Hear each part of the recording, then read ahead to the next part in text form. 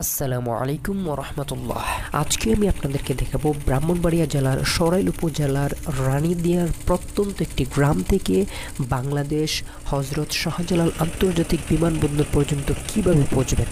সর্বপ্রথম আমি নৌকা করে আমাদের ইউনিয়ন ওরওয়ালি পুষলাম। দেন সেখান থেকে আমি নোহা গাড়িতে করে আমাদের এয়ারপোর্ট পর্যন্ত পৌঁছবো, যেখান থেকে আমাদের দূরত্ব প্রায় একশো পঞ্চাশ কিলোমিটারের উপরে। তো গাড়িতে চড়ার সময় বিভিন্ন রকম বিপদ আপদ বাধা বিপত্তির সম্মুখীন হয়ে আমরা শেষ পর্যন্ত এয়ারপোর্টে পৌঁছে গেলাম। এবং প্রথম আমরা এয়ারপোর্টের যে প্রথম গেটটা চেকপোস্টটা সেখান দিয়ে যাচ্ছি। আপনারা দেখতে পাচ্ছেন সেখান দিয়ে প্রথমে ঢুকে যেহেতু আমরা সকাল দশটা তেত্রিশ মিনিটে গাড়ি ছেড়েছিলাম এবং আমরা সেখানে পৌঁছতে প্রায় আমাদের অনেক সময় ব্যয় হয়েছিল জোহরের আজান পড়ে গিয়েছিল রাস্তার মধ্যেই। তো আমরা এখন এয়ারপোর্টে গিয়ে পৌঁছেছি। সবার মতামত অনুযায়ী আমরা এখন একটি হোটেলের দিকে রওনা দিচ্ছি, যেটা বরাবর সোজা এয়ারপোর্টের ডান দিকে যদি আপনি ক্রসিং করেন, তাহলে সেখানে আপনি অনেক খাবার হোটেল এবং অনেক দোকান দেখতে পাবেন, যেখানে আপনি সস্তায় খাবার এবং বিভিন্ন জিনিসপত্র ক্রয় করতে পারবেন। তো সোজা আমরা আমাদের ড্রাইভারকে বললাম, সোজা উনি আমাদেরকে সেখানে খাবারের হোটেলের দিকে নিয়ে যাচ্ছে। আমরা এখন খাবারের হোটেলে যাব এবং খাবার খাব। দেন আমরা আমাদের পর্যাপ্ত পরিমাণ সময় নিয়ে এয়ারপোর্টে উপস্থিত হব।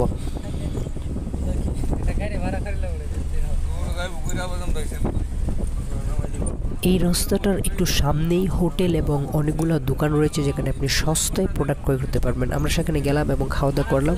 এই অংশটা আপনাদের প্রয়োজন নেই, এজন্য দেখাইনি। তো তারপরে আমরা মাগরিবের নামাজ পড়লাম দেন আমরা আমাদের এয়ারপোর্টের এক নম্বর টার্মিনালের দিকে রওনা হলাম। আপনাদের অ্যাম্বাসি থেকে জানিয়ে দেওয়া হবে যে কয় নম্বর টার্মিনালে দিয়ে আপনারা ঢুকবেন। তো আমরা দ্বিতীয় তলায় চলে গেলাম এবং আমরা এক নম্বর টার্মিনালের দিকে রওনা দিলাম এবং সেখানে আমরা দ্বিতীয় নম্বর বা তৃতীয় নম্বর গেট দিয়ে ঢুকবো। দেন আমরা আমাদের যে দ্বিতীয় এক নম্বর টার্মিনালের দ্বিতীয় নাম্বার লাইন সেটা আমরা খুঁজে বের করব। তো গেট নাম্বার টুতে আমরা খুঁজে আমরা লাইন বের করলাম এবং ব্যস্ততার কারণে ভিডিও করতে পারিনি। দেন আমরা সেখানে একটি চেকিংয়ের মাধ্যমে আমরা ভিতরে ঢুকে গেলাম। সেখানে আপনারা একটি চেকিং পাবেন, আপনাদের হাত ব্যাগ সে সমস্ত পর ব্যাগ দেবেন এবং আপনাদের বডিকে চেক করা হবে। সব কিছু চেকিং করার পরে আপনারা দেখতে পারবেন পাশে একটি হেল্প ডেস্ক রয়েছে। আপনাদেরকে হেল্প ডেস্কটা একটু পরে আমি দেখাবো। দেখুন, এই যে হেল্প ডেস্ক আপনারা সেখানে গিয়ে জিজ্ঞেস করবেন যে কোথায় যাবেন। আমরা জিজ্ঞেস করলাম, তারপর আমাদের সামনের দিকে দেখিয়ে দিল। তো সামনের দিকে সর্বপ্রথম আমাদের যে কাজটি করতে হবে সাথে আমাদের যে কাগজপত্র রয়েছে সেই কাগজপত্র গিয়ে ওই দায়িত্বরত কর্মকর্তাকে দেখাতে হবে। দেখালে উনি আমাদেরকে বলে দিবেন যে কোথায় আমরা বোর্ডিং পাস করব। সর্বপ্রথম আমরা বোর্ডিং পাস করব। বোর্ডিং পাসটা হচ্ছে আমাদের যে ব্যাগটা আছে, সেটা আমরা বুকিংয়ে দেবো। দেখুন, কর্মকর্তাকে আমরা দেখাচ্ছি আমাদের পাসপোর্টটা তো দেখানোর পরে উনি আমাদেরকে বললেন আপনাদের যে বিমানবন্দরে আপনারা ল্যান্ড করবেন, সেই বিমানবন্দরের নাম বলবেন।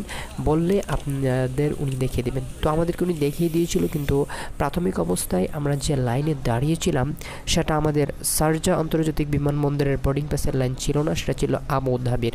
তো আমরা যখন স্ক্রিনে দেখতে পেলাম তখন আমরা ওই লাইন ছেড়ে আমরা আবার সার্জা বিমানবন্দরের লাইনে চলে গেলাম। আপনারা দেখতে পাচ্ছেন স্ক্রিনে তো সেখানে আমরা লাইনে দাঁড়িয়েছিলাম। দাঁড়ানোর পরে আমরা যে কাজ রয়েছে সে কাজগুলো কমপ্লিট করব। দেন আমাদের ব্যাগটাকে আমরা বুকিংয়ে দিয়ে দেবো। দেখতে পাচ্ছেন, আমাদের ব্যাগটাকে আমরা বুকিংয়ে অলরেডি দিয়ে দিয়েছি। দেন এখন আমাদের কাজ হচ্ছে, আমরা ইমিগ্রেশনের জন্য দাঁড়াবো। এখানে যে লাইন দেখতে পাচ্ছেন, সেটা ইমিগ্রেশনের লাইন আমরা অনেকক্ষণ লাইনে দাঁড়ানোর পরে এক পুলিশ কর্মকর্তা আমাদেরকে এসে বললেন যে, আগে আপনাদের বিএমইটি চেক করতে হবে। তো পাশেই আরেকটা লাইন দেখতে পেলাম, সেখানে আমরা গিয়ে আমাদের বিএমইটি চেক করলাম। বিএমইটি চেক করার পরে দেন আমরা ইমিগ্রেশন কমপ্লিট করলাম। ইমিগ্রেশন একজন পুলিশ কর্মকর্তা কমপ্লিট করবে। আপনাদের ভয় পাওয়ার কোনো কারণ নেই। দেন আমাদের সকল সমস্ত কাগজপত্র রেডি এখন আমরা এশারের নামাজ পড়ব। দ্বিতীয় তলায় আমরা চলে গেলাম। সেখানে আমরা এশারের নামাজ আদায় করব এবং আদায় করেছি। আদায় করার পরে দেন আমরা আমাদের ওয়েটিং রুমে চলে যাব। তো ওয়েটিং রুমটা কোথায় সেটাও আমরা আপনাদেরকে দেখাবো। আমাদের সাথেই থাকুন এবং এবং মোহাম্মদ এজ অফিসিয়াল চ্যানেলটি সাবস্ক্রাইব করতে পারেন। দেন আমরা আমাদের নামাজ শেষ করলাম। এখন আমরা নিচে চলে এসেছি। সোজা নিচে আপনাদেরকে একটা সিঁড়ি দেখাচ্ছি আমরা। এই সিঁড়িটা দিয়ে উপরে উঠেই নামাজের রুম আবার এই সিঁড়িটা দিয়ে নেমে আপনারা সোজা বরাবর চলে যাবেন। দর্শক, আপনাদেরকে একটি কথা বলে রাখি। অনেক সময় দেখতে পারবেন আমাদের ক্যামেরাটা নিচে। সঙ্গত কারণে আমরা ক্যামেরা নিচে রাখতে বাধ্য হয়েছি। তার মধ্যে একটি বড় কারণ হচ্ছে আমরা কোনো মহিলাদেরকে আমাদের চ্যানেলে হাইলাইট করি না। কারণ এটা আমাদের রিলিজিয়ন সাপোর্ট করে না, তাই আমরা মহিলাদেরকে, বেগানা মহিলাদেরকে আমরা আমাদের ক্যামেরার সামনে আনি না। দেন আমরা এখন সোজা চলে যাব আমাদের যে ওয়েটিং রুম আছে সে ওয়েটিং রুমের দিকে। দেন ওয়েটিং রুমে আমরা অপেক্ষা করছি। আপনাদেরকে আরেকটা কথা বলে রাখি, যখন আপনারা ইমিগ্রেশন কমপ্লিট করবেন, এর আগে বোর্ডিং পাস দেওয়ার সময় আপনাদেরকে বলে দেবে যে আপনাদের গেট নাম্বারটা আমাদের গেট নাম্বার ছিল নয় নাম্বার গেট দেন নয় নাম্বার গেটে দিয়ে আমরা গিয়ে আমাদের ওয়েটিং রুমে অপেক্ষা করছি। দেন এক কর্মকর্তা আমাদেরকে ডাক দিল আমাদের বিমানের নাম্বার দিয়ে। তো আমরা এয়ার আরাবিয়াতে আরাবিয়াতে যাচ্ছি। তো এখন আপনারা দেখতে পাচ্ছেন, আমরা সোজা একটি ফ্লাইওভার দিয়ে বিমানের দিকে যাচ্ছি। এটা হচ্ছে আমাদের বিমানের রাস্তা। সোজা গিয়ে আমরা বিমানে উঠবো।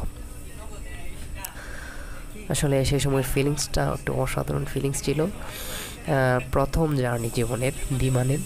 জানি না কেমন অভিজ্ঞতা হবে। তো দেখতে পাচ্ছেন বিমানের একেবারে কাছাকাছি আমরা চলে এসেছি। এটা হচ্ছে পাইলটের কক্ষ। আপনারা দেখতে পাচ্ছেন পাইলটকে একটু হালকা দেখা যাচ্ছে।